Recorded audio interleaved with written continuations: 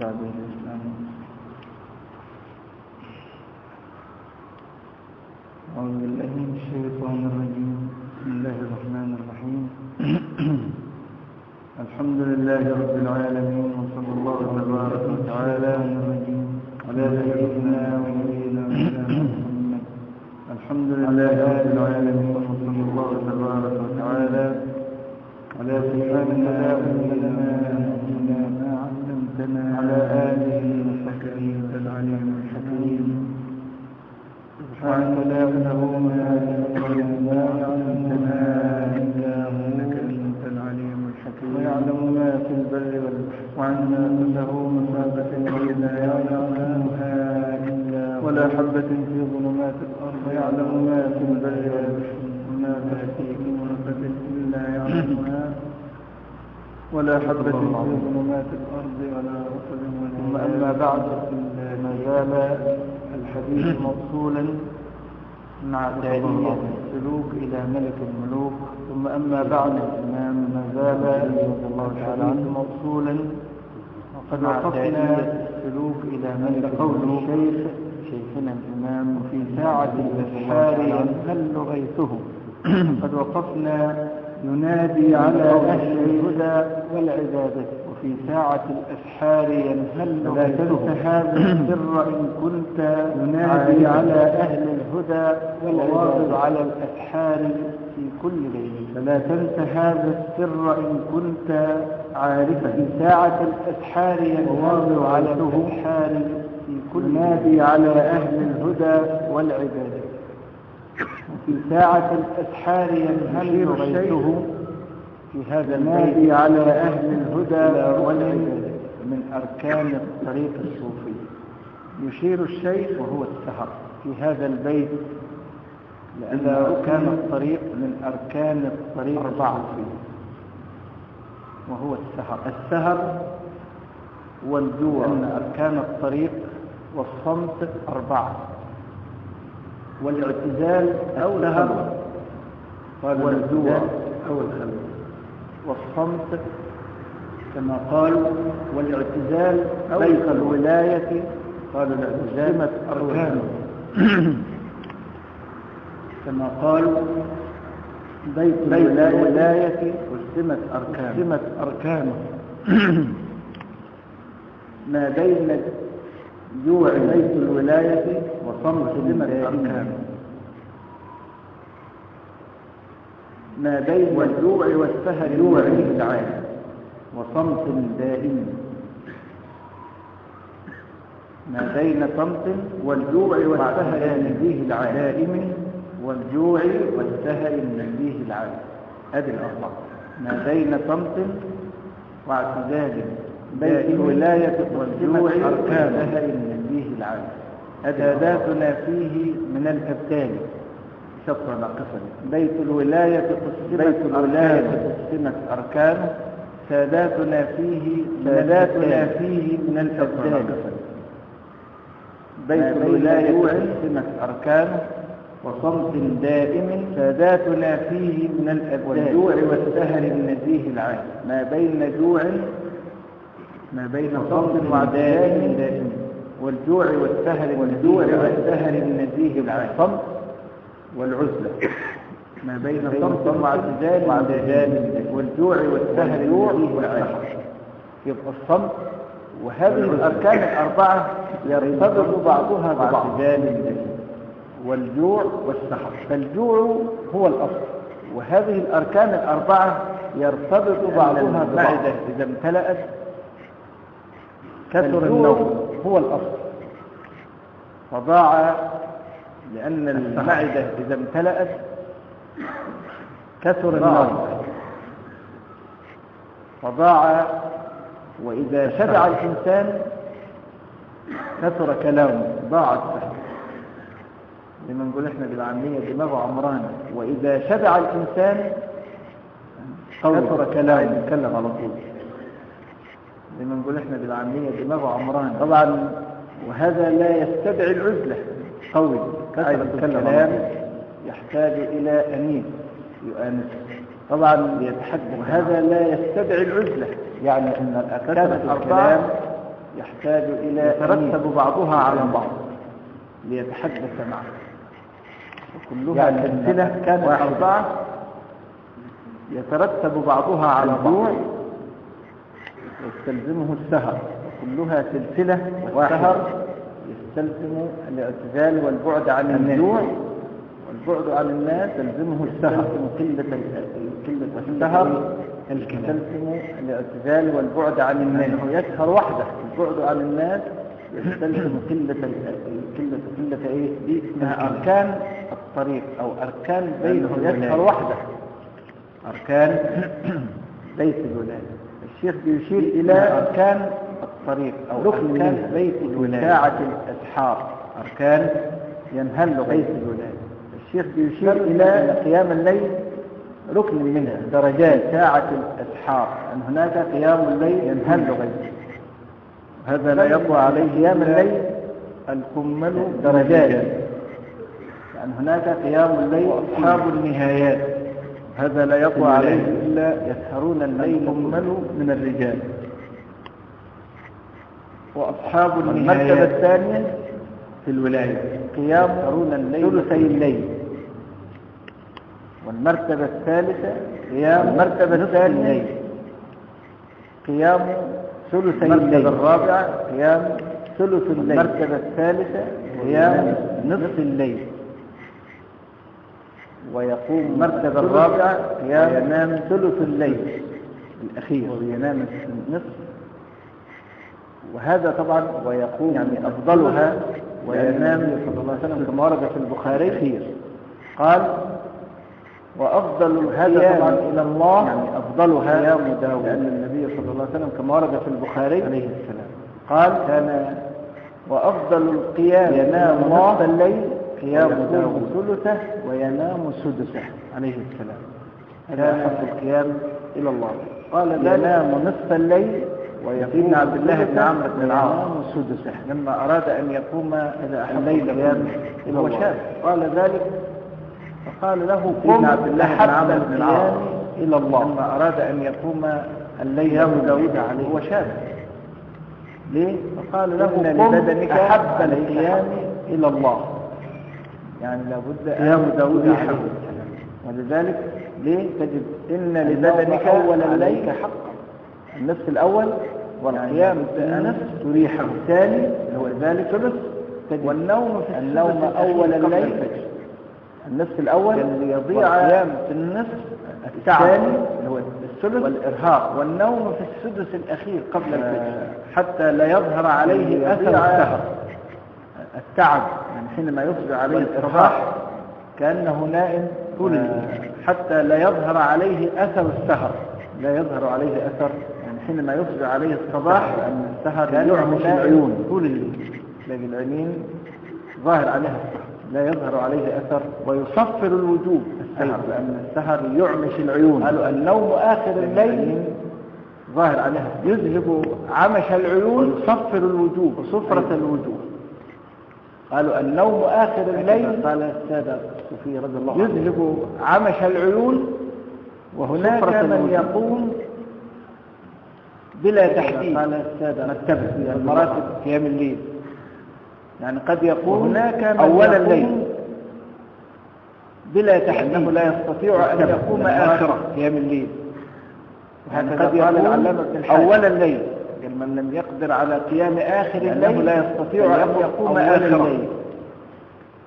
وهكذا قال العلامة ما كتب الله له قبل أن ينام آخر الليل فليقم أول الليل. يصلي ست ركعات يصلي ثمان يعني أنه يصلي ما كتب الله له قبل أن ينام. يستطيع أن يقوم آخر الليل. يعني يقوم على صلاة الصبح. ركعات يصلي ثمان ركعات. يعني ثم يصلي إيه؟ أول الليل يستطيع أن يقوم آخر الليل يعني يقوم على هناك الصبح من يقوم فيصلي إيه؟ مقدار حلب شاه بأن يصلي ركعتين أو أربع ركعات. مقدار حلب شاه قالوا فالمريد يصلي ركعتين أي مرتبة من هذه المراتب. أو أربع ركعات. المهم أن يكتب في في قوام قالوا الليل فالمريد يختار أي مرتبة قال وإن عثرت. عليه الطهارة.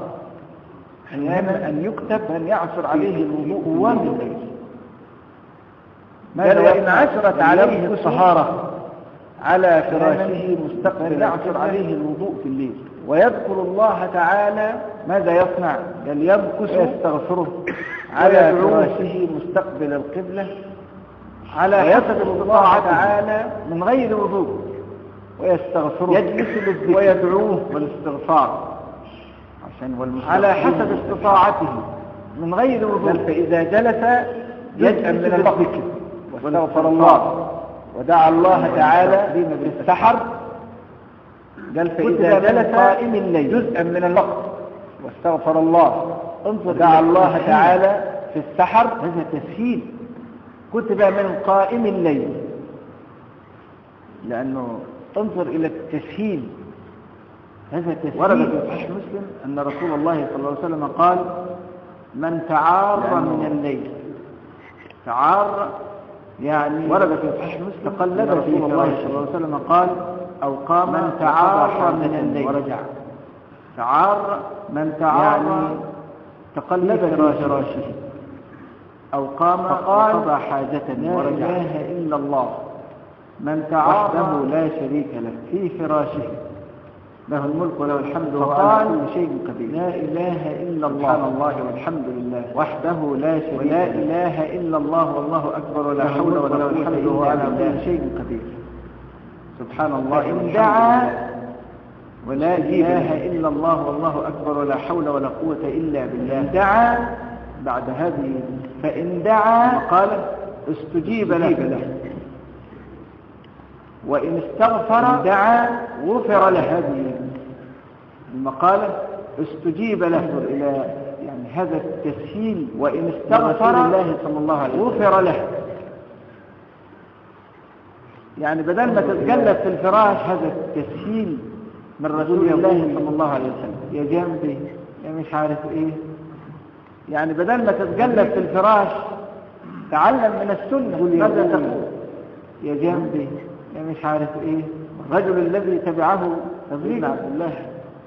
تعلم من بن عمرو السنة. عشان ماذا تقول؟ سيدنا عبد الله بن عمر الرجل الذي تبعه عبد الجنة الله. يدخل الآن عليكم رجل من عمرو علشان سيدنا عبد الله بن عمر.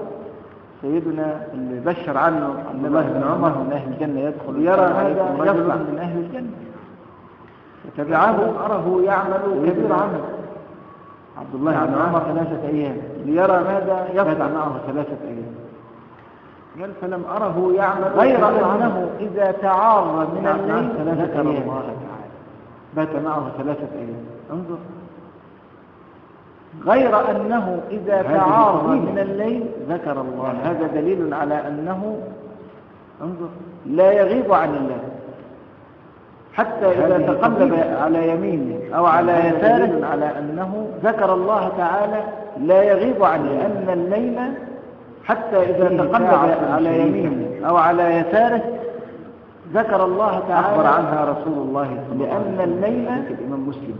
فيه ساعة إن في الليل لساعة لا يوافقها أخبر عنها رسول الله صلى الله عليه وسلم. يسأل الله تعالى خيرا. قال إن في من خير خير الدنيا الدنيا والآخرة والآخرة إلا أعطاه لا يوافقها رجل مسلم. كل ليلة. يسأل الله تعالى خيرا. من خير والآخرة تتقلب في إلا فراش. أعطاه إياه وذلك كل ليلة. القلوب ثبت قلبي على دينك. اللهم القلوب. ممكن طبعا وأنت تتقلب. في فراشك وتقول لا إله إلا الله وحده لا شريك له على الحمد اللهم مصرف وهو على كل شيء على سبحان الله والحمد لله وتقول لا إله إلا الله وحده لا شريك له. الملك وله الحمد. رب اغفر لي وتب علي إنك أنت. التواب الرحيم. استغفر الله استغفر الله استغفر الله ولا قوة إلا بالله. تكتب رب اغفر لي وتب علي إنك أنت التواب. الرحيم. والقائمين الليل والمستغفرين الله.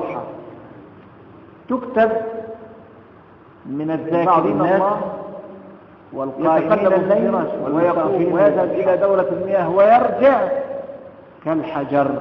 لكن بعض لم الناس ينطق بكلمة. يتقلب في فراشه. ويقوم حتى هذا إلى غفرانك المياه ويرجع. الذي الأذى وعافانا كالحجر يقول لم ينطق كمان بكلمة. تلاقيه مقفل عينيه؟ وهو رايح يقول غفرانك. الحمد لله الذي أذهب عنا الأذى وعافانا بيقولها نعم. وكمان إيه تلاقيه مقفل عينيه. وهو رايح يقول جاي خايف لحسن النوم يروح منه. سمعنا نتكلم عن الصالحين والأولياء. لا تأسجل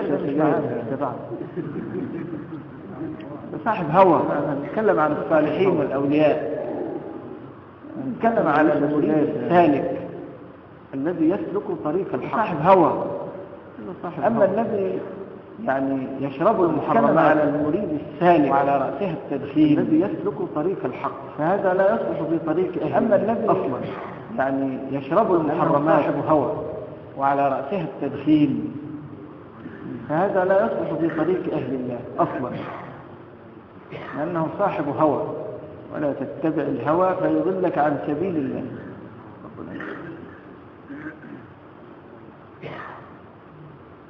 المهم أنه كيف يصير ذاكرا لله في هذا الوقت الشريف. الشيخ بيقول وفي ساعة الأسحار ينهل أنه كيف يصير ذاكرا لله غيث الله في هذا الوقت الشريف.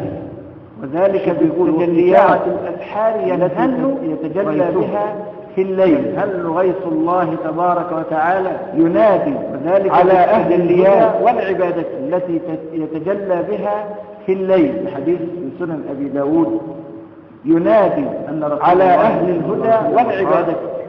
ينزل ربنا في حديث سنن كان داود الليل الأخير ينزل ربنا صلى الله عليه وسلم قال لا سماء الدنيا. ينزل ربنا من يدعوني؟ إذا كان ثلث الليل الأخير من ينزل ربنا فأغفر له. إلى سماء من يسألني؟ وينادي. من يدعوني؟ فأستجيب كل يوم. من يستغفرني كل يوم بالليل كل ليل من يسألني فأعطيه. وهذا كل يوم. على أهمية الليل.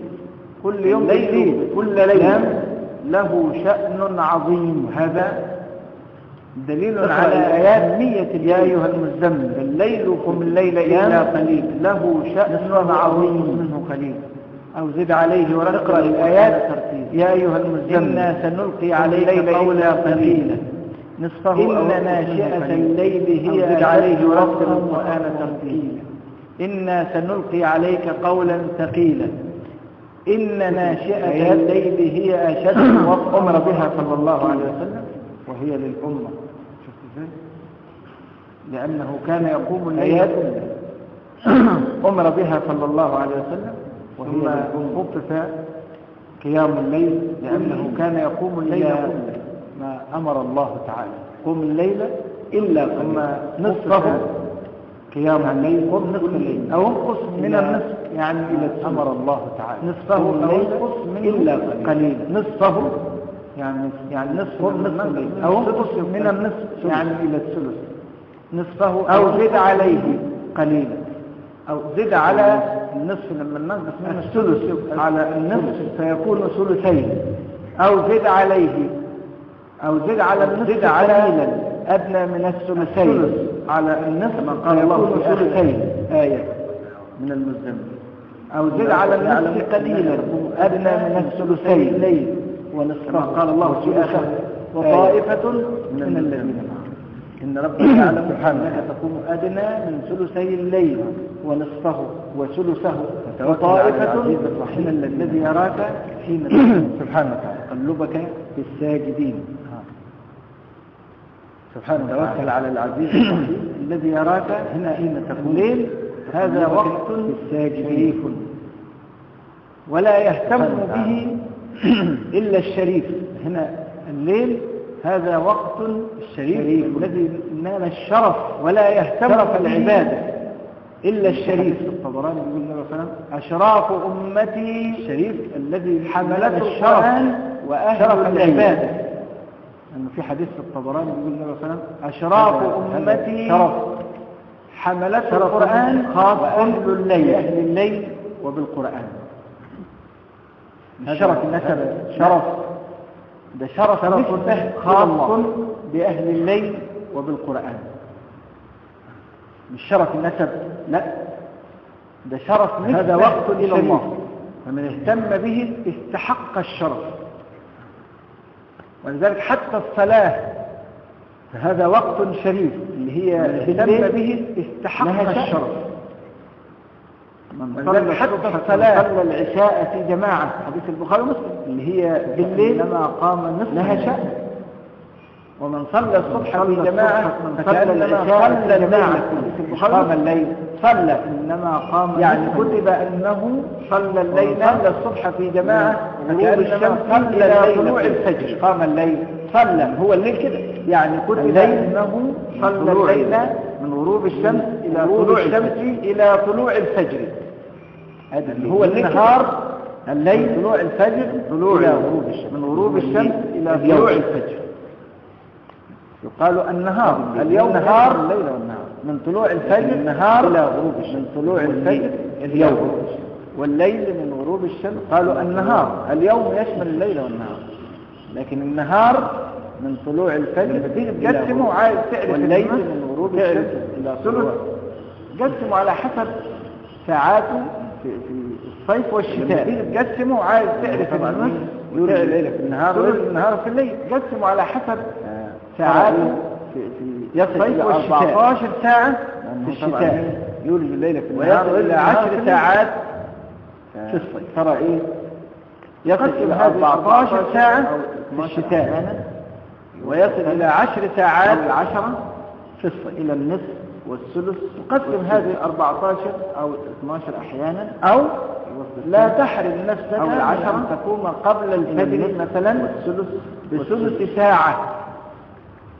أو لا تحرم نفسك من أن تقوم قبل الفجر حتى تنال بثلث ساعة. الدرجات والثوابات التي أخبر عنها رسول الله صلى الله عليه وسلم. حتى تنال هذه من الليل ولو مقدار درجات والثوابات التي أخبر عنها رسول الله صلى الله عليه وسلم. بعدين قم من الليل ولو مقدار صلى الله عليه وسلم حكم بالصلاح لمن قام من الليل ولو شيئا يسيرا. بعدين النبي صلى الله عليه وسلم حكم بالصلاح لمن قام من الليل ولو شيئا يسيرا. كان رسول الله صلى الله عليه وسلم إذا رأى أحدنا رؤيا قصها عليه. كان رسول الله صلى الله عليه وسلم إذا رأى أحدنا رؤيا منكم رأى ليلتها عليه. قال فأحببت أن أرى رؤيا حتى أقصها على أصحابه من منكم رأى الليلة رؤيا. قال فأحببت أن أرى رؤيا حتى أقصها على رسول الليلة من الليل. صلى الله عليه وسلم. فرأيت رؤيا. قال رأيت فرأيت في ليلة رجلين أخذين فرأيت رؤيا. رأيت فذهب بي إلى جهنم. رجلين إلى النار. فإذا هي كالبئر المطوي فذهب بي إلى جهنم يعني بئر محفورة وليست مبنية. فإذا هي كالبئر المطوي ورأيت فيها أناسا عرفتهم يعني بئر محفورة وليست مبنية. يتعذبون فقلت ورأيت فيها أناسا من النار. عرفتهم. الليل فيها يتعذبون فخفت منها وقلت الله جاءني ملك من الملائكة وقال لي لن تراع. قال فخفت منها لن تخاف. فجاءني ملك من الملائكة وقال لي لن تراع فقصصتها على أختي حفصة. يعني لن تخاف. زوج رسول الله. فقصتها على رسول الله. فقصصتها على أختي حفصة. من المؤمنين. زوج رسول الله. قال صلى الله عليه وسلم فقصتها على رسول الله. عبد الله رجل صالح. لو كان يقوم قال صلى الله عليه وسلم إن عبد الله رجل صالح. لو كان يقوم من الليل. لو كان يقوم من الليل شيئا.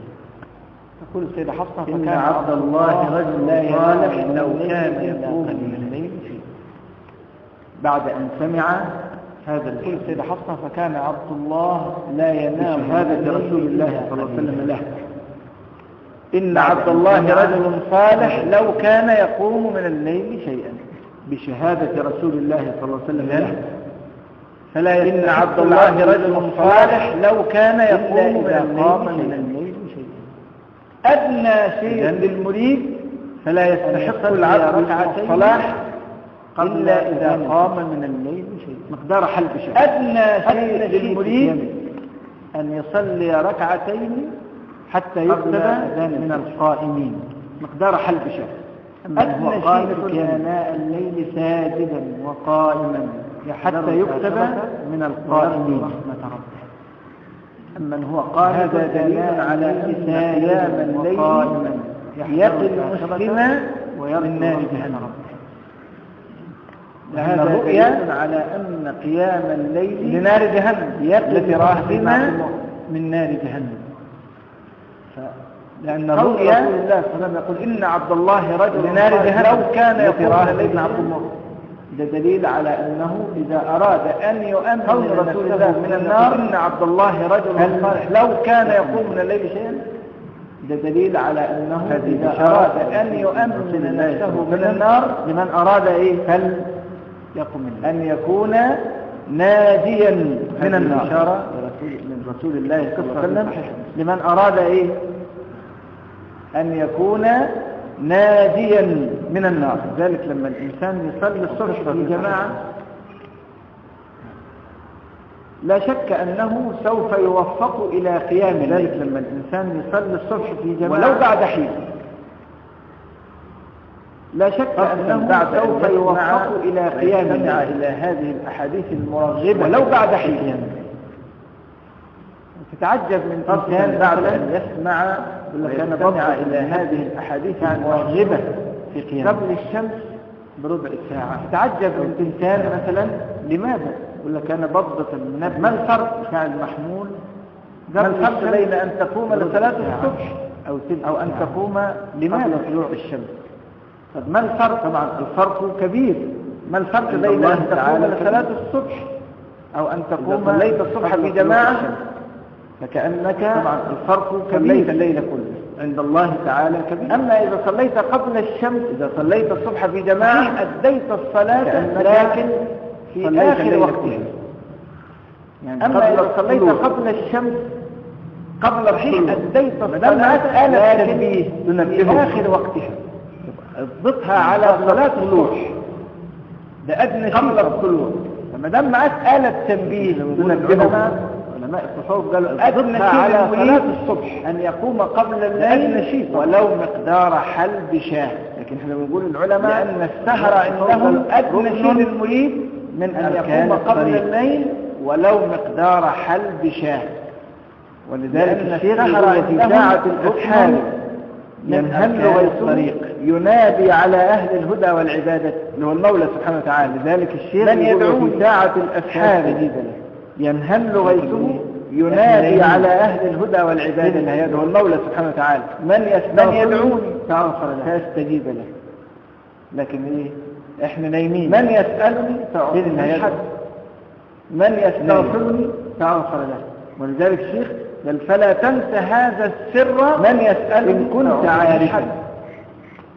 نايم. وواظب على الأسحار. ذلك الشيخ بل فلا تنس هذا السر إن كنت عارفا إلى هذا وواظب على الأسحار في كل ليلة. قصائده وما أكثر شيخنا إنما نسحار أوقات بها ينصب الديوان الركن. فالرب نزل. قصائده فاذكر الله به إنما خشيتار أوقات بها ينصب الديوان. فالرب نزل. فاذكر الله به في خشية الحار. شاهد اجتماع الأولياء والصالحين. سبحانه وتعالى. ووقت تجل يعني من الله تبارك وتعالى وقت اجتماع الأولياء والصالحين. فلا بد من إيه؟ من التعرض ووقت تجل من الله تبارك وتعالى. لأن الدعاء مستجاب. فلا بد من إيه؟ كما ورد التعرض لنفحات الله تعالى فيه أن رسول الله صلى الله عليه وسلم سئل الدعاء مستجاب. أي الدعاء أسمع؟ ما ورد في حديث أي الدعاء أسمع؟ رسول الله صلى الله عليه وسلم قال أي الدعاء وفي أسمع؟ جوف الليل. ودبر الصلوات المكتوبات قال يعني أي الدعاء الليل أقرب إلى الإجابة؟ الليل. ودبر الصلوات صلوات المكتوبات سحر الليل. ودبر الصلوات أي الدعاء. أقرب إلى الإجابة.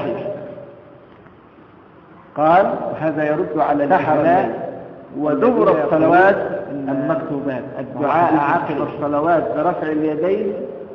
بدعة. هذا يرد لم على يرد. الجهلاء الذين يقولون إن الدعاء عقب الصلوات برفع اليدين.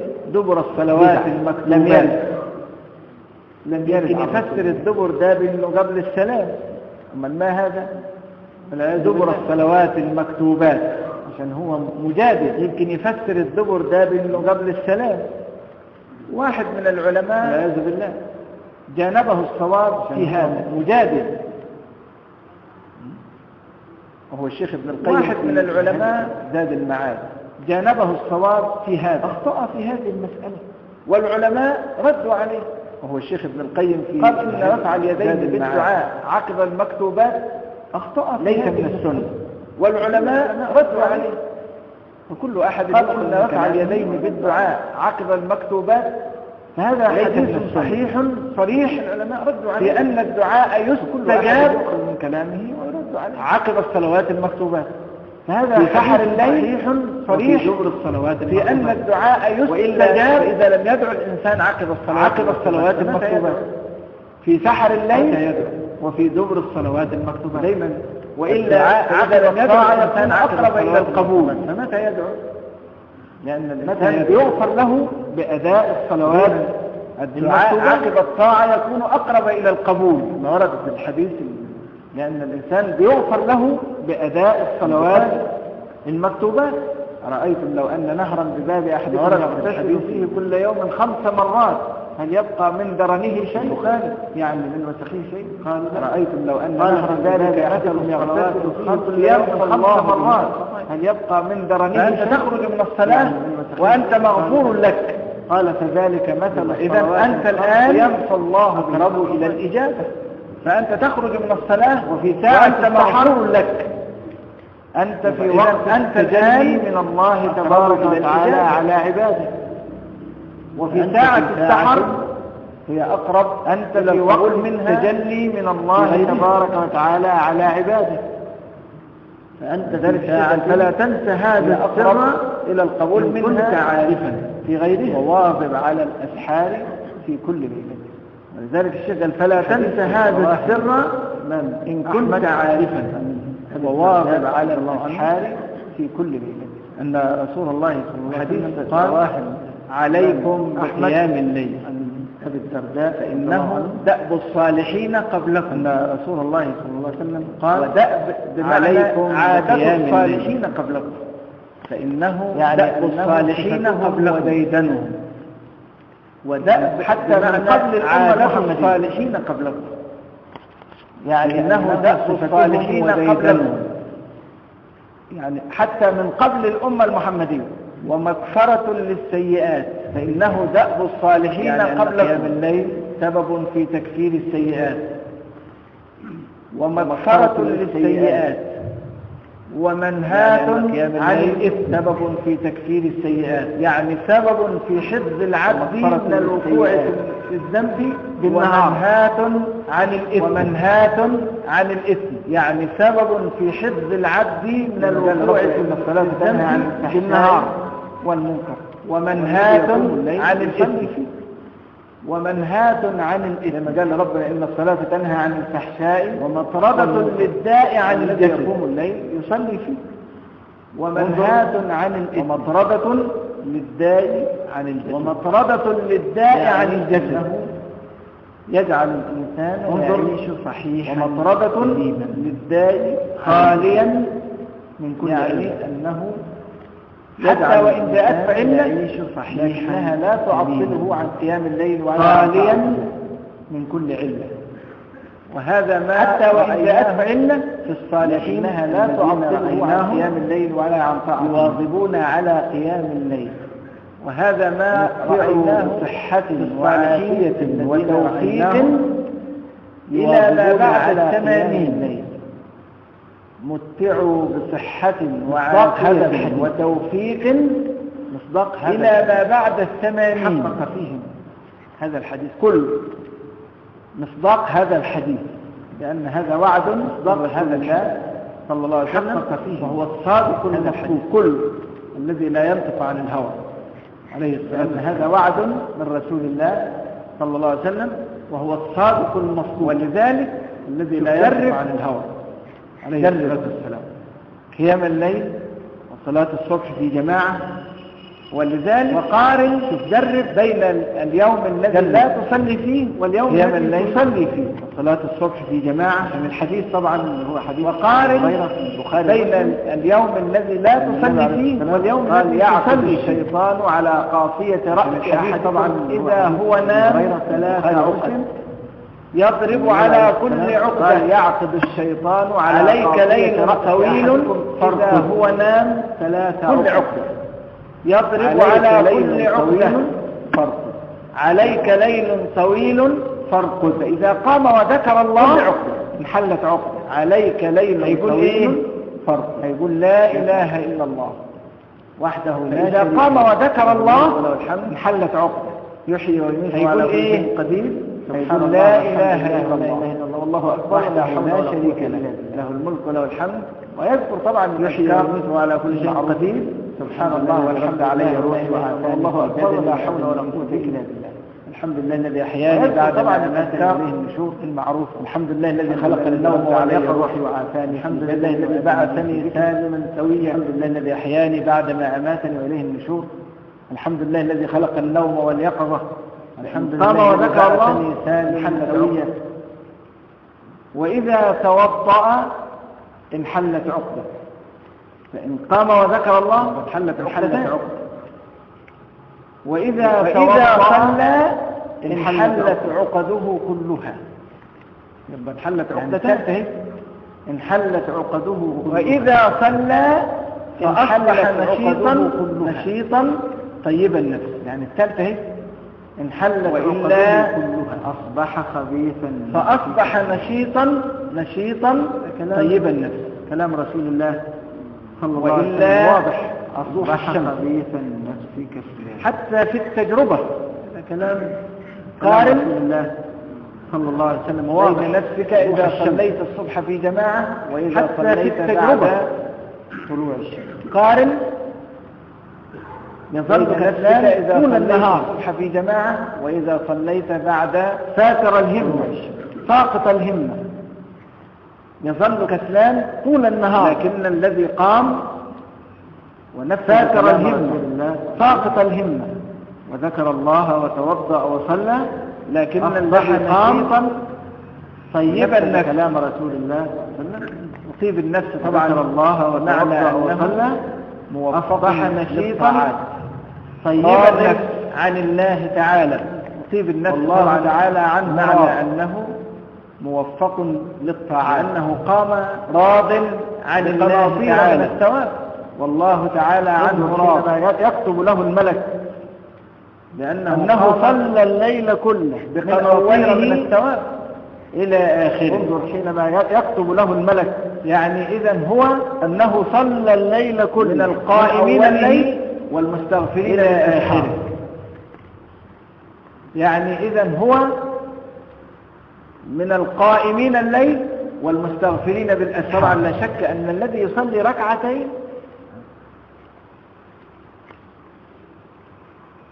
يقرأ طبعا عشر آيات. أن الذي يصلي ركعتين الفاتحة سبعة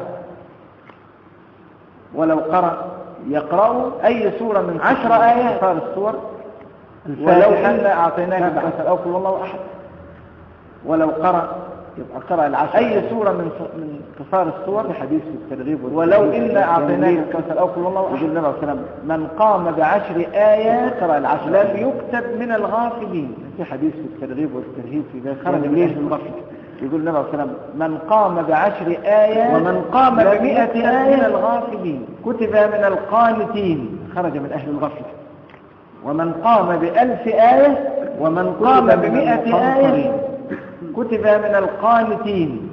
المقنطرين طبعا. ومن قام يعني بألف آية أعطاه كتب من المقنطرين. قناطير مقنطرة. المقنطرين طبعا. يعني أعطاه الله أجرا أنت لو حسبت المئة آية قناطير مقنطرة. تلقاها مثلا ممكن من ثواب سورة. ياسين وتبارك. أو تبارك والواقع. آية دي تلقاها مثلا ممكن أو مثلا ياسين مش وتبارك. تبارك ممكن يقرأ من أول أو تبارك والواقع. ومعها سورة.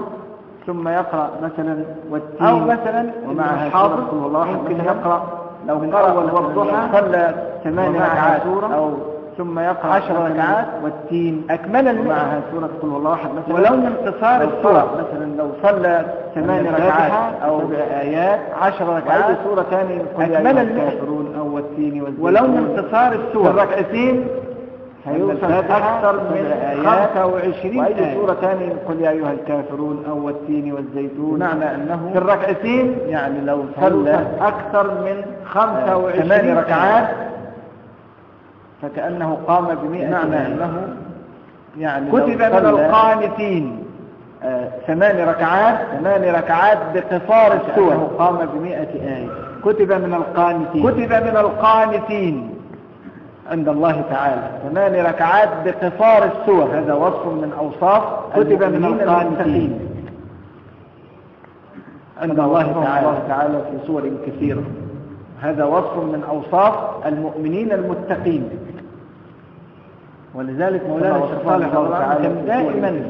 يركز تركيزا شديدا على صلاة الصبح في جماعة. مولانا الشيخ صالح رضي الله عنه كان دائما يقول يركز تركيزا شديدا ناس على صلاة مش عم تصلي في جماعة. بعد الشمس.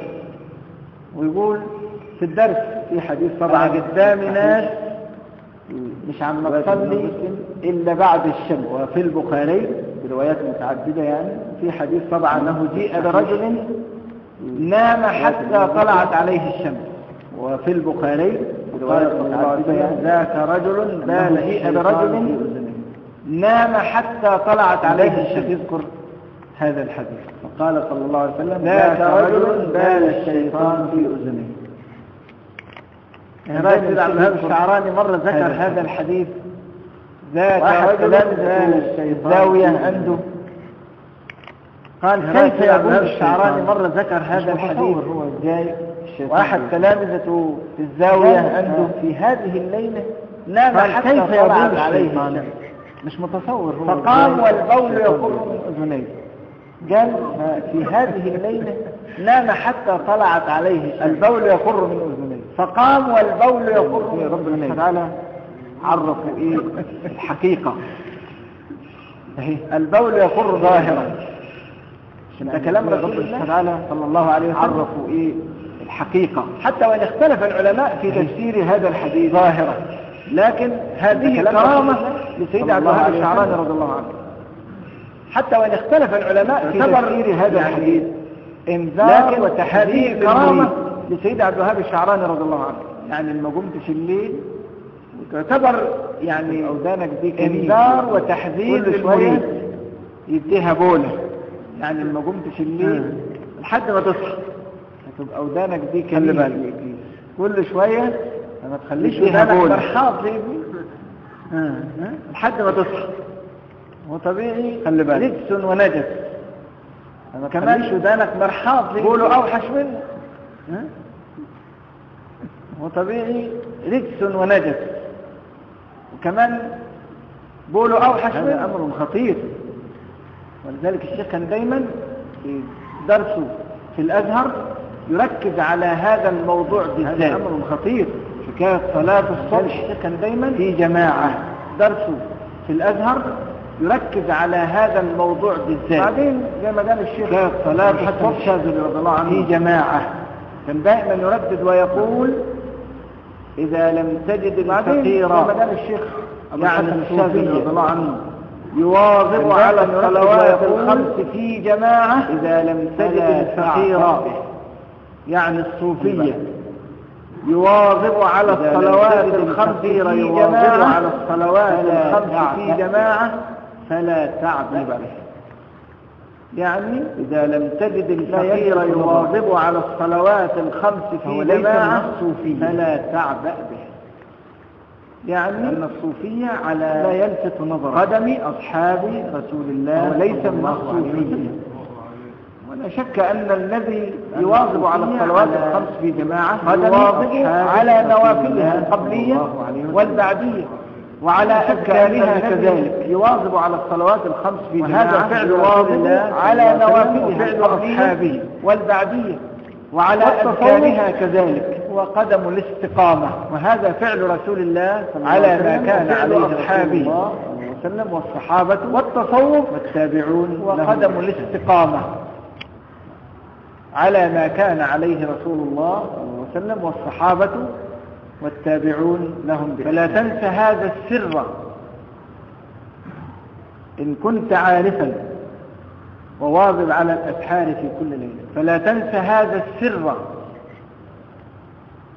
إن كنت عارفا وواظب على الأسحار في كل مفاتح. الأسرار تكون في الأسحار. يلقى مفاتح الذي الأسرار تكون في الأسحار. السحر.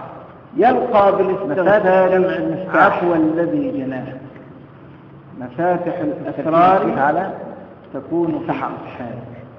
مفاتح يلقى بالاستغفار عفو الذي مفاتح الأسرار يلقى العفو من الله. ما جنت يلقى بالاستغفار عفو الله تعالى في السحر. فيعفو العفو من الله. لأنه دخل في زمرة من يستغفرني الله تعالى في السحر من يسألني فأعطيه. لأنه دخل في زمرة من من يستغفرني فأغفر له. من يسألني فأعطيه. من يدعوني فأستجيب له.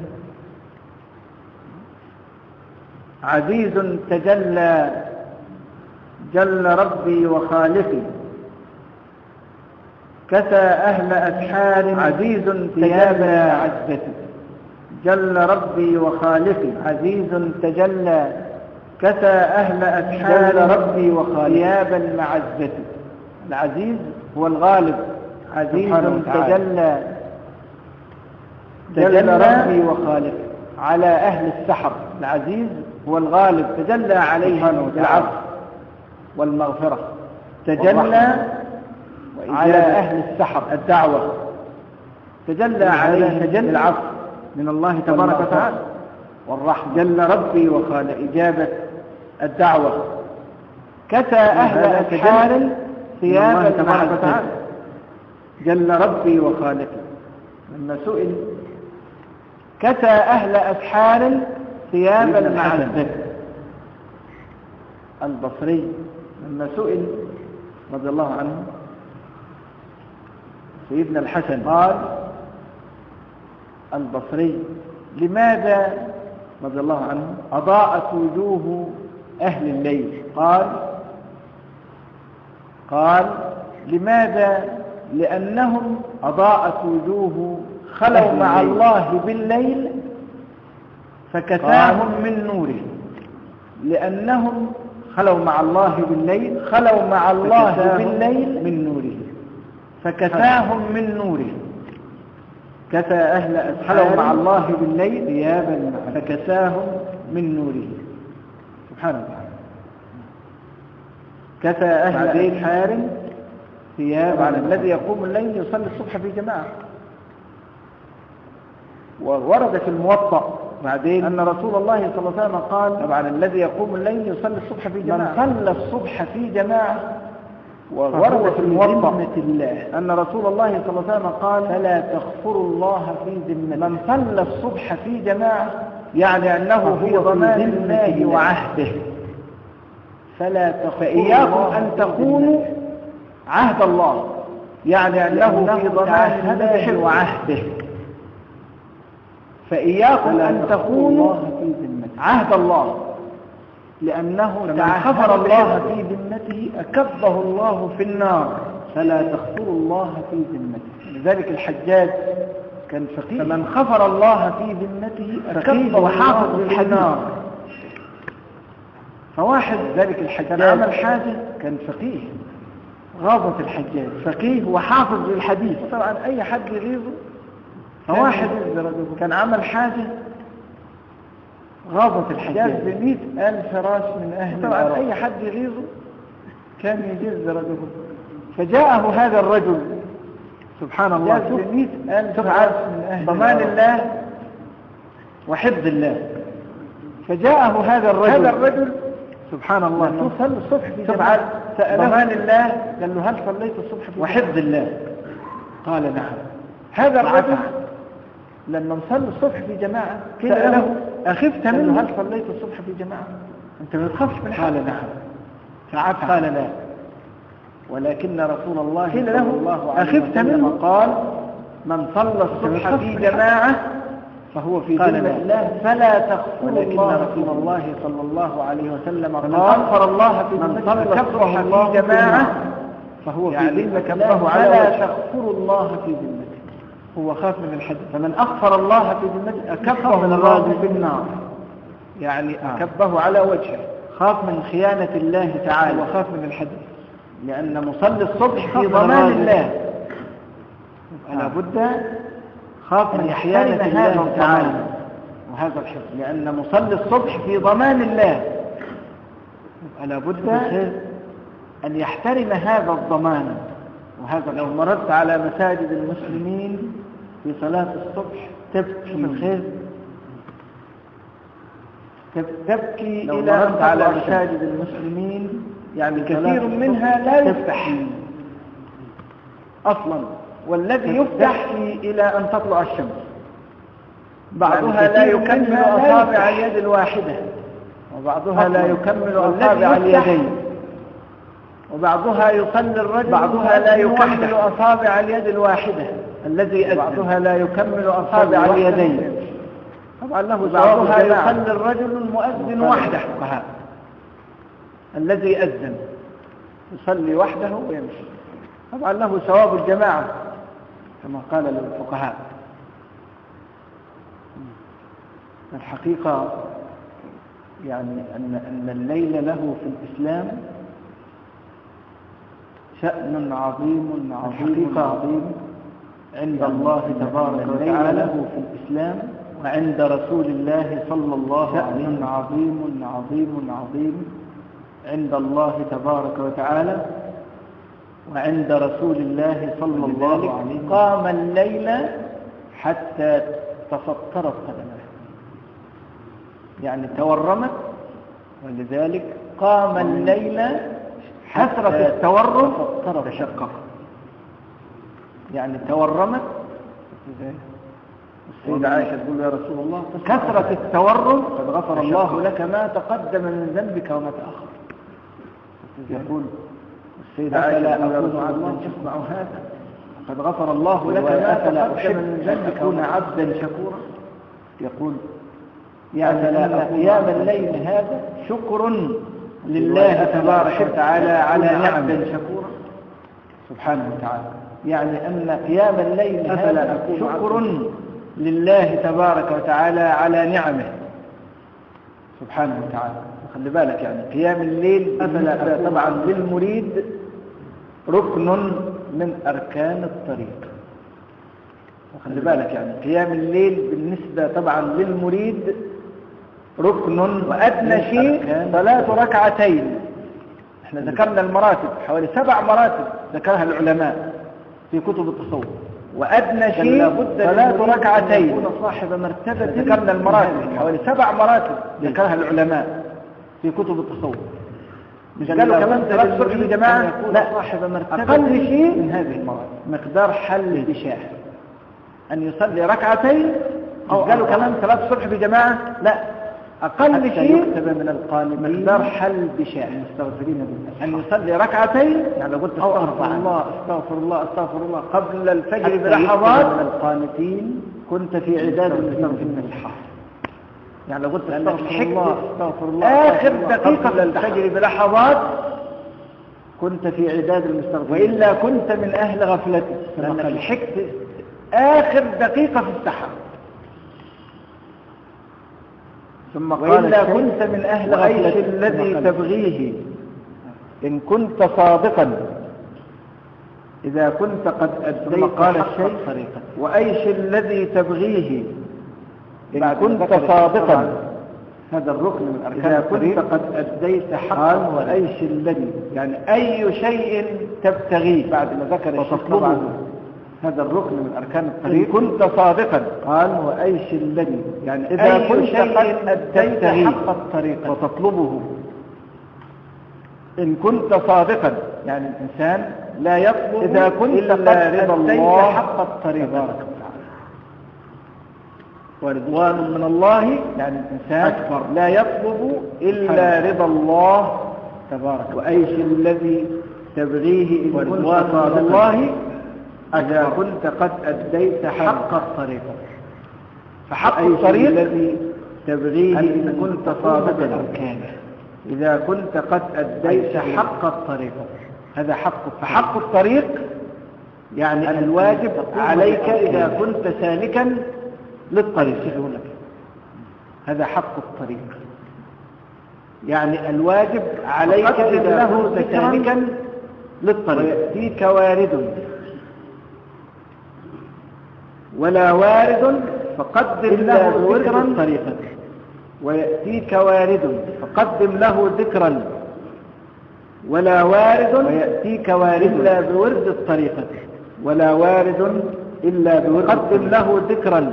فقدم له ذكرا ويأتيك وارد. يعني وردا. ولا وارد إلا بورد الورد هو الوظيفة. قدم له ذكرا يعني أو الحزب وردا. من الطاعة الواظب عليه هو الوظيفة المريد كل يوم. أو الحزب من الطاعة يواظب عليه المريد كل يوم. هذه معنى طبعا أوراد الطريقة بتشمل التهليل الاستغفار الصلاة على رسول الله صلى الله عليه وسلم بالصلوات. أوراد الطريقة بتشمل التهليل الحمد والثناء على الله تعالى. الصلاة على رسول الله صلى الله عليه وسلم بالصلوات. الحصون الدعاء من القرآن الحمد ومن الثناء على الله تعالى. وأذكار الصباح والمساء الحصول وأداء الصلوات القرآن الفرضية في وقتها وأذكار الصباح والمساء. وأداء الصلوات وكذلك صوم رمضان في وقتها والتنفل في الصوم مع أداء النوافل من أوراد الصوفية يعني لو قرأت كذلك صوم رمضان ذاك التنفل في الصوم كل فرض كل ده من أوراد النوافل. يعني لو قرأت بالنسبة لإيه؟ الإخوان في الصوفية لأن هو عمادهم حديث الولاية. كل فرض ومعه نوافل حديث الولاية. بالنسبة لإيه؟ في البخاري ومسلم. لأن هو عمادهم حديث الولاية. قال عليه الصلاة والسلام عمادهم الله تعالى يقول الولاية. من عاد لي وليا قد آذنته بالحرب. اللي بيقول فيه وما تقرب إلي أن الله تعالى يقول أداء ما افترضت عليه فقد آذنته بالحرب. ولا يزال عبدي تقرب إلي عبدي بشيء أحد تقرب إلي ما افترضت عليه بالنوافل حتى أحبه ولا يزال عبدي كنت سمعه الذي يتقرب إلي وبصره الذي بالنوافل حتى ويده التي يبطش بها. فإذا ورجله التي يمشي بها. كنت سمعه الذي يسمع ولئن سألني وبصره الذي يبصر ولئن سألني لأعيذنه ورجله التي يمشي بها هذا هو عماد ولئن سألني لأعطين أداء الفرائض استعاذني لأعيذن هذا هو عمادهم. ولذلك الشيخ أداء الفرائض عنه قال وأداء السنن. يقول العارفون ولذلك تلي الحاج المالكي رضي الله عنه قال بترك يقول العارفون حرم بركة السلية ومن ابتلي بترك السنن بترك حرم بركة الفرائض. حرم بركة ابتلي بترك الفرائض. بترك حرم. بركة الإسلام. حرم بركة الفرائض.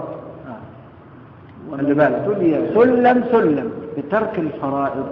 حرم؟ بركة لأنها كلها شعائر الله. خلي بالك. سلم سلم. معالم على التقوى. ليه؟ ومن يعظم شعائر كلها الله فإنها شعائر الله. شعائر.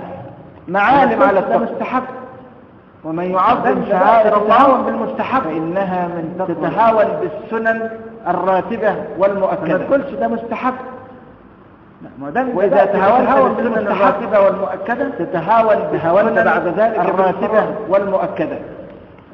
ممكن بإخراجها عن وقتها وإذا تهاونت. بالسنن الراتبة والمؤكدة. تهاونت بعد ذلك بالفرائض. خلي بالك. ممكن بإخراجها عن وقتها وتجميعها. لكن الذي يعظم هذه الشعائر خلي بالك يكون عظيما عند الله لكن الذي يعظم هذه الشعائر ولذلك يكون عظيما عند الله. لا تحقرن شيئا من المعروف ولو صور فإنك ولذلك سيدنا الحسن البصري لو رأيته يوم لا تحقرن شيئا من المعروف مكانه. ولو صور فإنك ولا تحقرن شيئا من المنكر لو رأيته ولو يوم القيامة. فإنك لو رأيته. يوم القيامة ساءك مكانه. ولا تحقرن شيئا من المنكر ولو صغر. يعني أشياء. فإنك لو رأيته يوم القيامة. ساءك مكانه. أو من ال- ال- المعاصي الصغيرة. يعني أشياء إياك أن تتهاون بهذا من الطاعات. أو بهذا. أو من فقد تتهاون المعاصي الصغيرة بطاعة إياك أن تتهاون ويكون القبول فيها. فقد تتهاون وقد تتهاون بمعصية بطاعة ويكون غضب الله فيها. ويكون القبول فيها. خلي بالك. خلي بالك. يعني وقد تتهاون؟ بمعصية ويكون غضب بعد الموت. قيل له خلي بالك. ماذا فعل الله؟ بك يعني قال لمن مالك؟ غفر لي.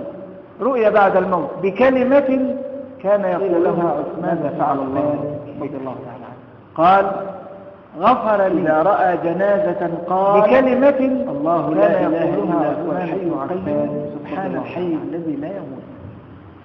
إذا رأى جنازة قال حجة الله لا إله إلا هو الحي القيوم. سبحان الحي والذي يعني شوف الإمام مالك رحل حجة إليه العلماء من. كل فج. وضربت إليه والذي الإبل يعني لعلمه.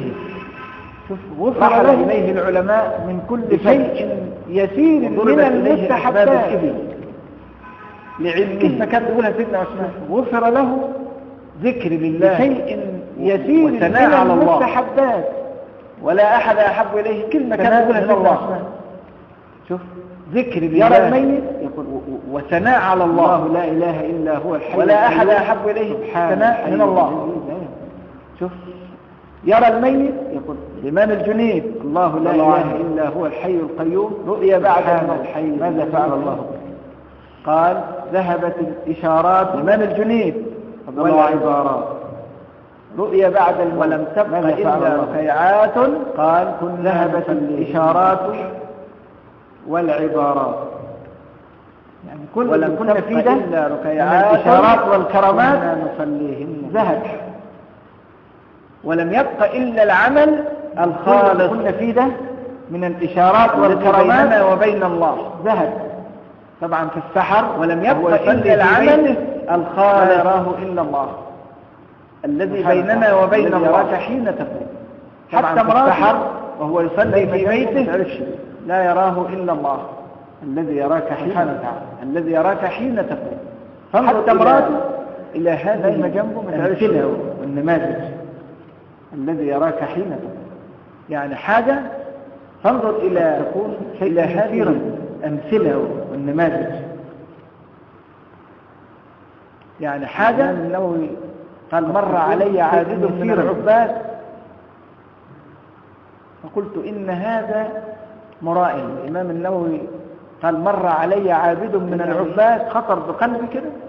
قلت إن هذا قلت إن. هذا مرائي قال فحرمت قيام الليل ستة أشهر خطر بقلبي كده. قلت إن هذا مرائم من هذا من سوء الظن. فحرمت قيام الليل حرمت قيام الليل ستة أشهر من هذا من سوء الظن. هذا. حرمت قيام الليل أي حاجة. ستة أشهر. يعني مجرد من واحد معدي كده قال عنه كده إزاي؟ الإنسان ما يستصغرش أي حاجة.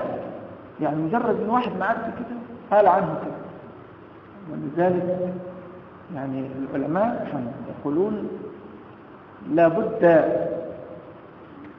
من العلم ذلك قبل العلم. العلماء خاصة يقولون لابد تصور طبعا من العلم على علم الشريعة أيضا قبل العمل خاصة يعني العلم هو الأساس علم في طريق أهل الله طبعا ينطبق هذا على علم الشريعة أيضا. يعني العلم هو الأساس في طريق أهل الله. وقدم له وردا ويأتيك وارد. وطبعا الذكر فقدم له ذكرا قدم له وردا ويأتيك وارد. قلنا الورد بيشمل الفرائض طبعا الذكر والنوافل. فقدم له ذكرا ويشمل يعني هو الورد. جميع الأذكار. قلنا الورد بيشمل الفرائض والنوافل. ويشمل جميع الأذكار. العلماء جميع يقولون الأوراد تقضى. الأوراد تقضى ولذلك العلماء يعني لو واحد مثلا انكسر عليه يوم الأوراد تقضى. يقرأ في اليومين بعده أوراد تقضى. ورد اليوم السابق يعني لو واحد مثلا انكسر عليه يوم ما قالوش الحد يقرأ في اليومين بعده الكسل. ورد اليوم السابق واحد يقول طب ليه الأوراد ليه الصوفية ركزوا على حتى لا تتعود نفسه. الكسل. دي الأوراد يا إخواننا طب واحد يقول طب يعني ليه الأوراد ليه الصوفية ركزوا على الأوراد بطاريتك؟ دي الأوراد يا إخواننا يعني هي الشاحن بطاريتك ممكن تفضى خالص. خالص. الشاحن. أنا أقول الحديثين بطاريتك ممكن تفضى خالص. رواه الطبراني بإسناد حسن. واحد رواه الحديثين صحيحين. يعني واحد رواه الطبراني بإسناد حسن واحد رواه إن الإيمان لا يخلق في جوف قال عليه الصلاة والسلام إن الإيمان لا يخلق, في جوف أحدكم فسلوا الله أن يجدد إيمانا لا يخلق في جوف فسلوا الله أو فاسألوا الله, الله أن يجدد الإيمان في قلوبكم. فسألوا الله أو فاسألوا الإيمان لا يخلق في جوف أحدكم. الإيمان في قلوبكم. يخلق يعني يجد نفس الحديث. إن الإيمان لا يخلق في جوف أحدكم. يخلق يعني يفقد أنوار. ويضعف ويبلغ. مش إذا أذنب العبد نكت في قلبه نكتة يفقد أنوار. خلي بالك فالنكت السوداء دي هتحجر البطارية بعد كده مش إذا أذنب العبد نكت في قلبه نكتة سوداء مش هيقبل شحن بعد كده. فالنكت السوداء دي هتحجر بعد ما يتغيرش نقول نغير البطارية. آه. مش هيقبل شحن بعد كده. ما ينفعش. وبعدين ده ما يتغيرش. إن الإيمان لا يخلق في جوف أحدكم اسألوا الله أن يجدد الإيمان في قلوبكم. آه. إن الإيمان لا يخلق في جوف أحدكم. فاسألوا الله أن يجدد الإيمان في وأن رسول الله صلى الله عليه وسلم قال جددوا يشرح إيمانكم. جددوا أن رسول الله صلى الله عليه وسلم قال جددوا قالوا كيف إيمانكم. إيماننا يا رسول الله؟ قال قولوا إيمانكم. قالوا كيف نجدد إيماننا يا رسول الله؟ قال قولوا لا إله إلا الله. هناك حديث ثالث قولوا لا إله يقول فيه صلى الله عليه وسلم إن القلوب لتصدأ هناك حديث ثالث قالوا وما جلاؤها يا رسول الله؟ صلى الله عليه وسلم قال إن القلوب لتصدأ كما يصدأ في رواية لا إله إلا الله. قالوا وما جلاؤها يا رسول الله؟ قراءته. قال ذكر الموت. وفي رواية لا إله إلا الله. وفي رواية هذه الأوراد قراءة القرآن. دورات يومية لشحن بطارية الإيمان. هذه الأوراد لشحن بطارية الإيمان. دورات يومية حتى لا تضعف. لشحن بطارية الإيمان. علو لشحن بطارية الإيمان. إيه اللي بيسكت حتى لا تضعف صدى البطارية. ولذلك علو الهمة من الإيمان.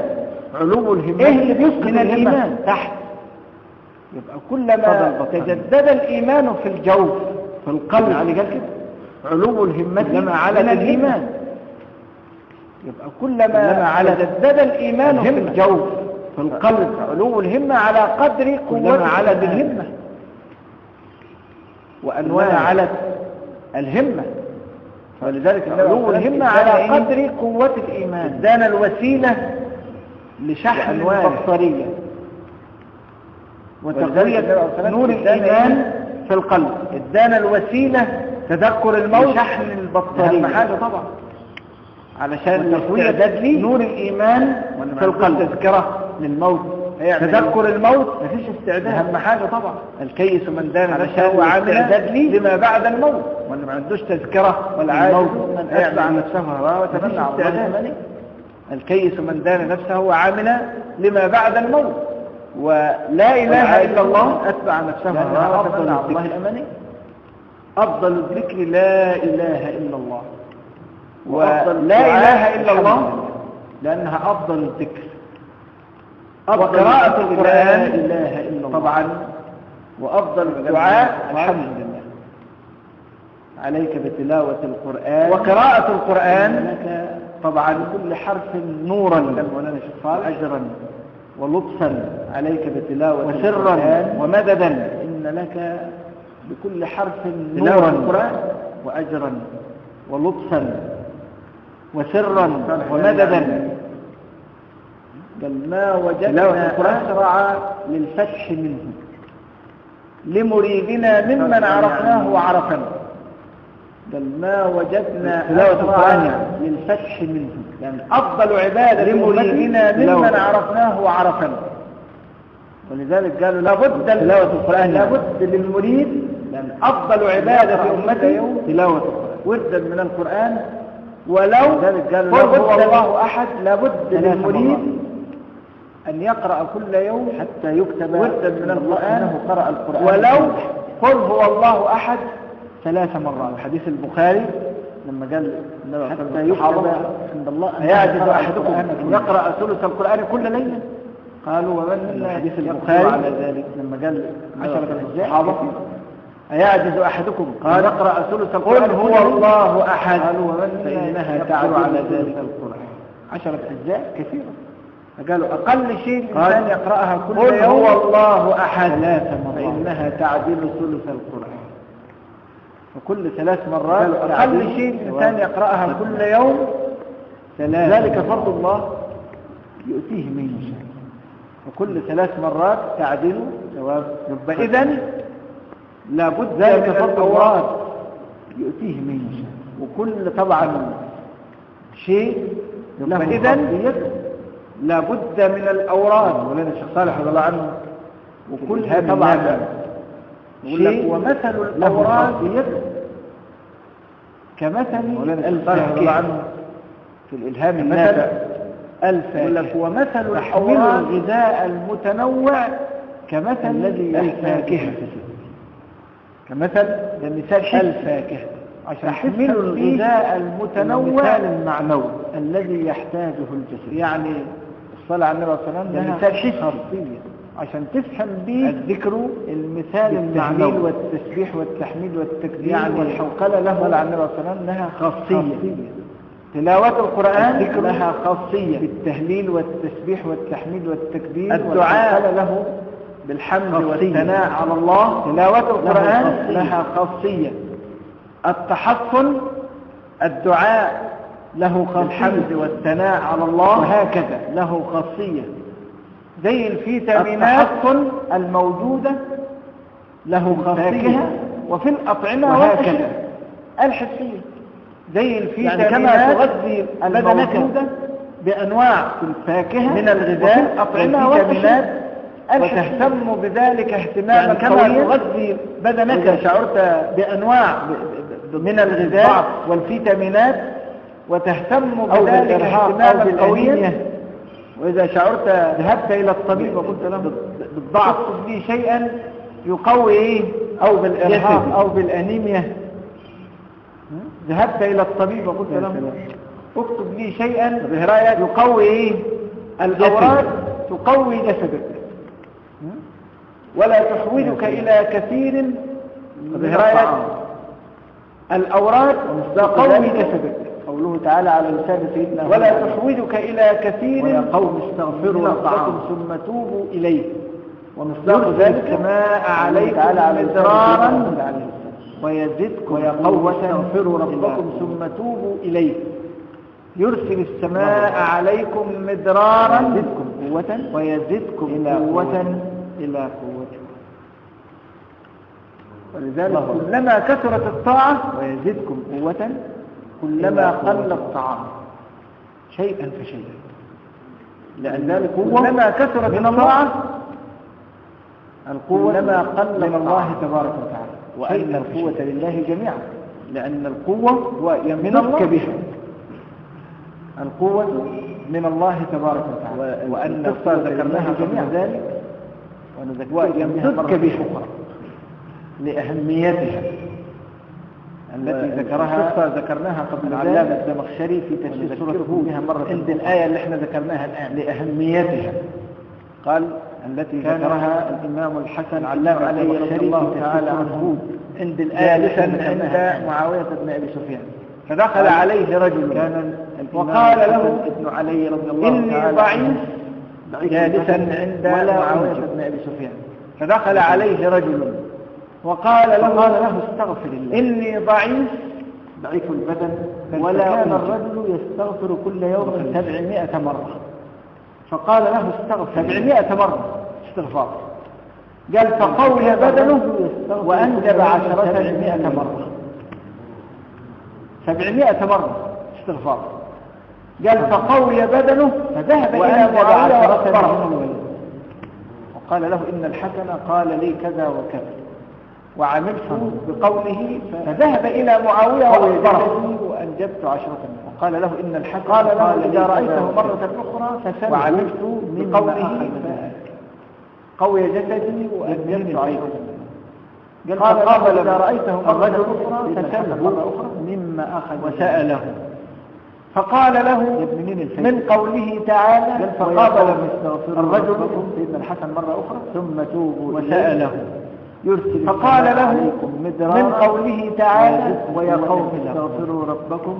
ومن قوله تعالى في سورة نوح فقل يرسل السماء عليكم مدرارا يرسل السماء عليكم مدرارا ومن قوله تعالى في سورة نوح فقل استغفروا ربكم. انه كان غفارا يرسل السماء عليكم مدرارا القصة ذكرها.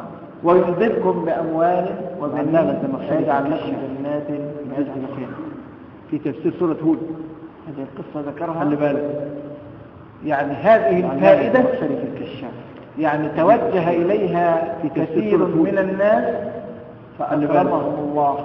يعني هذه الفائدة وأكرمهم الله يعني توجه إليها كثير من الناس فأكرمهم الله. يعني لأن هذا شيء من القرآن. أكرمهم الله بالإنجاز والعلماء يقولون خذ من القرآن ما شئت لما شئت. يعني لأنه هذا شيء من القرآن. هذا سيدنا الحسن. وأهل العلماء يقولون أعلم الناس بكتاب الله لما شئت. عز وجل. آتاه الله سيدنا الحسن. وأهل البيت أعلم الناس بكتاب الله. عز وجل. هذا هذه خاصية له الله الاستغفار. مع ما فيها طبعا من غيره. يعني مغفرة الذنوب. شوف هذا هذه خاصية فوائد دنيوية. الاستغفار مع ما فيها طبعا زيادة القوة. يعني مغفرة والإمداد بالأموال والبنين. ودي فوائد دنيوية. زيادة القوة. نفع الزرع. حتى الزرع. والإمداد بالأموال. حليم محمود في كتاب والبنين. قال عطشت وأرض رجل نفع الزرع. حتى الزرع. الزرع يموت. في كتابه عن الذكر. فقال إن الله تعالى قال رجل من الصالحين. على لسان هذا نوح الزرع يموت استغفروا ربكم إنه كان غفارا فقال إن الله تعالى قال فقلت وأخذ يستغفر الله تعالى. نوح فقلت فما أتمت مئة إلا وتلبد فجلس في وسط الزرع. السماء وأخذ يستغفر الله تعالى. ونجا زرعه من العصر مئة. إلا وتلبد فلان اللي حيرني الغيوم وأمطرت مش ربنا قال كده ونجا زرعه من العطش. يرسل السماء عليكم فلان اللي حيرني أنا لما نستغفر أهو. مش ربنا قال كده ها؟ يا ربنا سبحانه وتعالى أرسل له السماء يرسل السماء عليكم مدرارا. زرعه أنا لما نستغفر أهو. من الهلاك؟ يا ربنا سبحانه وتعالى أرسل له السماء. العلماء. ونجا زرعه الشيخ ابن تيمية والشيخ ابن من الهلاك. قال إذا عثرت على أحدهم مسألة العلماء قال كما حكى الشيخ ابن تيمية لا يفتح علينا إلا بالاستغفار. إذا عثرت على أحدهم فيقوم الواحد منهم يستغفر الله ألف مرة فيفتح عليه لا يفتح علينا. إلا بالاستغفار. يستغفر فيقوم الواحد منهم يستغفر الله ألف مرة فيفتح عليه في يعني. فهم المسألة. حجب الفهم ده من الذنوب. يستغفر ألف يبقى عشان يفهم المسألة دواء الذنوب الاستغفار. هو بيعتبر إنه يعني فيستغفر الله حجب الفهم ده من الذنوب. يبقى دواء الذنوب الاستغفار. والجاهل يقول لك إيه؟ في حاجة اسمها أوراد فيستغفر الله فيفهم من أنت يعني هتعيش كده وخلاص. اشمعنى متخذ ورد معناه يقول لك والعشاء والعشاء. ما ده ورد أهو. من أنت يعني هتعيش كده وخلاص. أنت متخذ طعام الجسد ورد ورد معناه الفطار والغدا والعشاء. تسمع مثلا ورد مع بعض مثلا جمع تأثير اشمعنى أنت متخذ؟ طعام الجسد. ورد تقول لا تقدر تسمع مثلا تأثير. مع بعض واحد من تأثير ها؟ فرقة. يبقى ناكل كل واحدة فوق تقول لا. يا جماعة جمع تأخير. هتروح واحدة منهم. ها؟ الصبح لازم ياكل. كل واحدة في وقتها بعد الظهر لازم ياكل. بعد المغرب أو بعد العشاء لازم ياكل. ورد الصبح ورد لازم ياكل. عامل جسد. بعد الظهر ما يرضاش يسيب منه. بعد المغرب أو بعد العشاء ياكل. لقمة ورد. ورد من طعام الجسد. في الاوراد الثانية تقول ما إيه؟ يرضاش يسيب لا، منه. حاجة اسمها اوراد إحنا وأنا من لقمة. غير- من غير حساب. اشمعنى في الاوراد الثانية جعل لك؟ أوراد. لا مفيش حاجة اسمها اوراد في البخاري إحنا هنذكر كده. قال سبحان الله وبحمده 100 مرة غفرت ذنوبه جعل لك أوراد في يوم 100 مرة غفرت ذنوبه ولو كانت مثل زبد البحر. 100 مرة غفرت ذنوبه ولو كانت في يوم 100 مرة غفرت ذنوبه ولو كانت مثل زبد البحر. يا أيها الناس توبوا إلى الله. فإني أتوب إليه في اليوم 100 مرة. يعني معناها اتخذوا أورادا يا أيها الناس إلى الله. أورادا. إليه اليوم 100 مرة. تعليم معناها اتخذوا لأنه أورادا كما أنا متخذ أورادا. لكن نحن محتاجون لهذا. لأنه مغفور له ما تقدم من ذنبه وما تأخر. وخير الخطائين. نحن المحتاجون لهذا.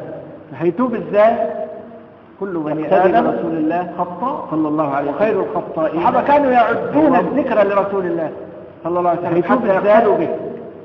يقتدي برسول الله صلى الله عليه وسلم. عمر. الصحابة كانوا يعدون الذكر لرسول الله صلى الله عليه وسلم. حتى يقتدوا به المجلس الواحد نفضل حمدي وتب علي إن الله بن عمر. كان مئة مرة. كنا لنعد لرسول الله صلى الله عليه وسلم في المجلس الواحد. نفضل صلي وتب علي إنك أنت التواب الرحيم. مئة مرة شوف يعني معناها شوف المجلس الواحد على شفتي رسول الله صلى الله عليه وسلم وأصابعه إن كنا لنعد يعني معناها الدقة علم على شفة رسول الله صلى الله عليه وسلم وأصابه في تفقد أحوال رسول الله صلى الله عليه وسلم. شوف الدقة. يعني حتى في دقة الصحابة. حتى في المجلس أحوال رسول الله صلى الله عليه وسلم. له مئة مرة. يعني حتى في الذكر. هذا ورد. حتى في المجلس الواحد. يعد له مئة مرة. هذا في كل وقت كمان. مش في السحر بس. ده في كل مجلس. في المجلس الواحد. وبعدين فكل هذا في كل وقت كمان. مع رسول الله مش في السحر بس. متعددة في كل مجلس. في المجلس ما جلس في المسجد يجلسون حوله. والصحابة على رسول الله وسلم. مجالس متعددة. فهذه فائدة الأوراد. أينما جلس في المسجد يجلسون حوله. في فائدة صلى الله عليه وسلم. يعني عليها الفلاح. هذه فائدة الأوراد. والآخرة. بفائدة الأوراد. أن الإيمان في القلب. يعني انطفأ نوره. عليها الفلاح على الإنسان والآخرة. فلو أن الإيمان في القلب هيصاب بقسوة القلب نوره إذا قتل القلب على الإنسان موعد العاقبة. كالأرض إن سبخت هيصاب بقسوة القلب. إذا قتل القلب إذا فلابد من أي موعظة الأرض إن سبخت لابد أن يمثل القلب بهذه الأوراد فلابد من كل يوم. لازم الجلاء. لابد أن يجلى القلب دنيوية بهذه الأوراد كل يوم. لازم. لكن الإنسان لا يقصد لا يقصد شيئا. دنيوية وفوائد الدنيوية.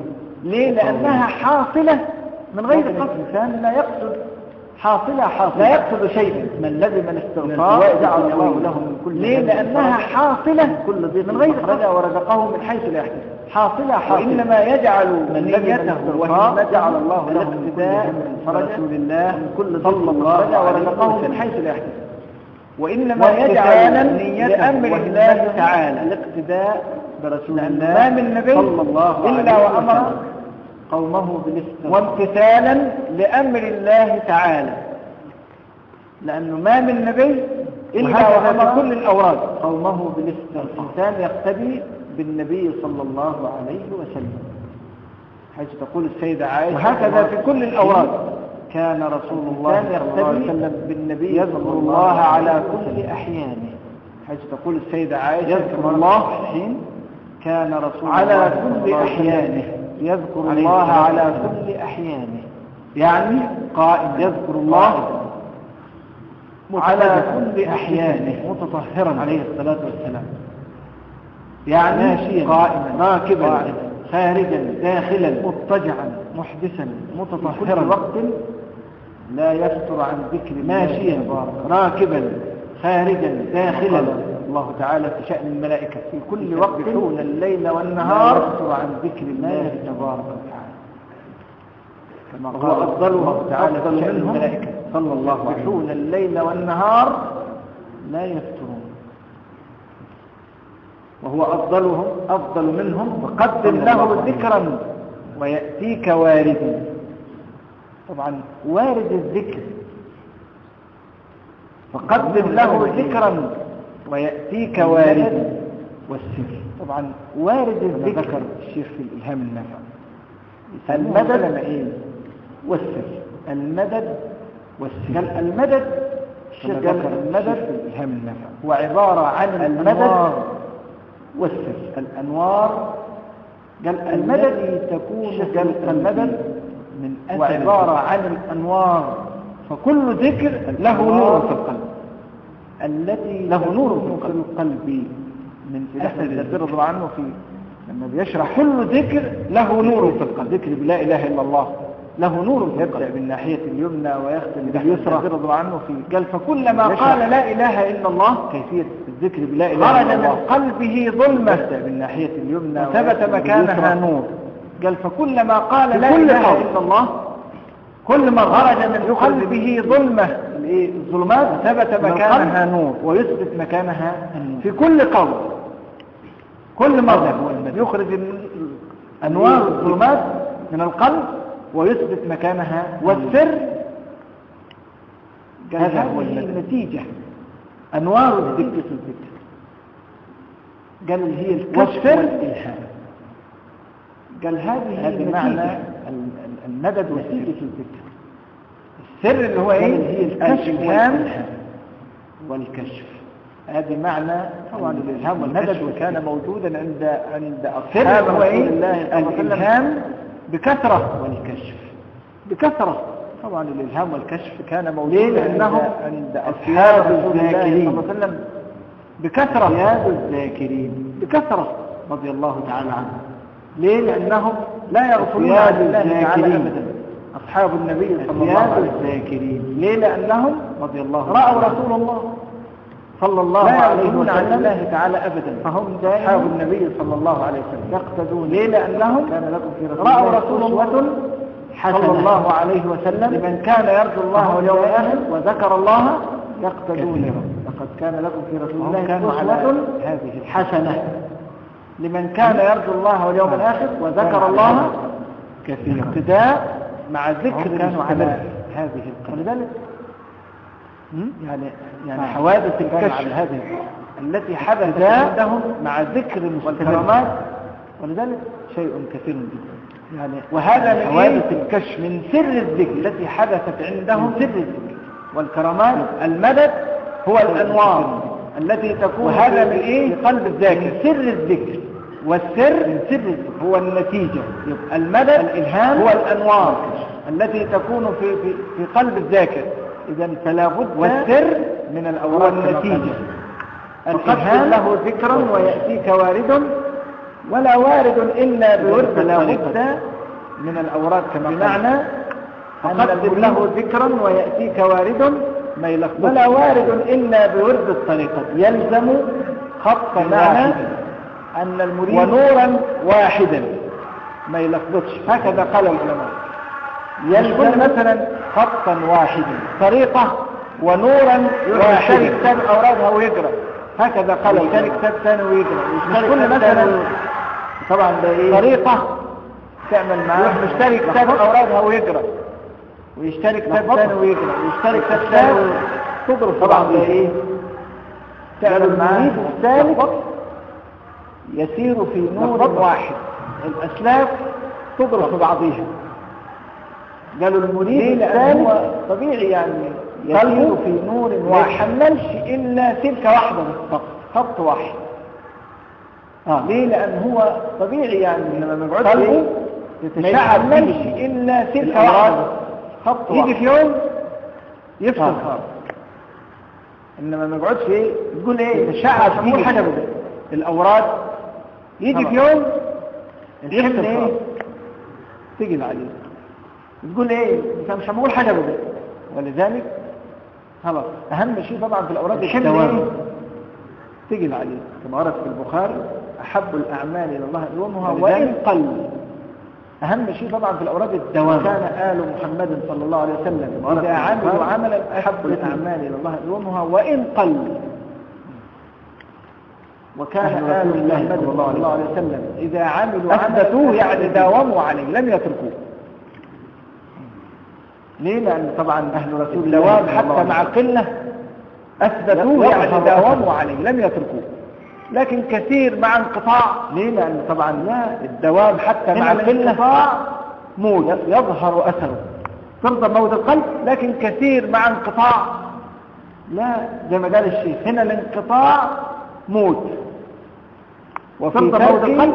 لذكر الله موت فترك الذكر زي ما موت قال الشيخ أبتري يعني موت وفي قطعي ترك لذكر الله يقطعك. عن الله تعالى. فترك الذكر موت أبعد الحوت في بحر يعني يحسب موت قطعي. بالحوت. يقطعك عن الله تعالى. له بالموت في بر لقي. رأيت الحوت في بحر يعني يعني أنه ذاكر بالحوت. من طول ما هو ذاكر له لا، بالموت في بر لقي. السمك في الماء. حي. يعني أن الذاكر إذا ترك الذكر من طول ما هو ذاكر شأنه كشأن إيه؟ كما أن السمك إذا خرج. خارج حي. الماء مات إذا ترك الذكر ذكر حديث في البخاري مات قال عليه كما أن السمك إذا خرج مثل الذي يذكر ربه والذي لا يذكر ربه مثل. الحي والميت قال عليه الصلاة والسلام مثل الذي يذكر ربه والذي لا يذكر ربه ولا نفع الحي والميت انقطاع والميت عن كل الخير. لا نفع فيه ولا نفع منه. مثل الذي يذكر ربه والذي لا يذكر ربه مثل الحي انقطاع. عن كل الخير.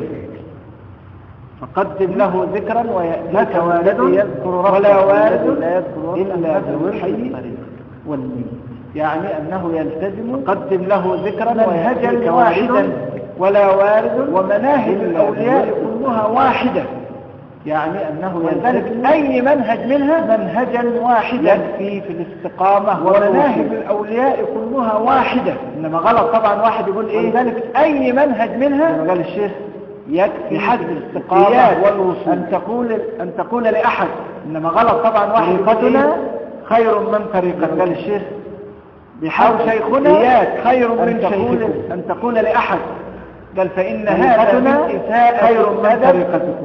مع المشايخ. أو شيخنا خير من شيخكم. ولا شيخ صالح اللي قال فإن هذا من إساءة الأدب. أي واحد طبعا مع المشايخ. كان يتعصب في الطرق ويفتخر ويقول طريقتنا وطريقتنا.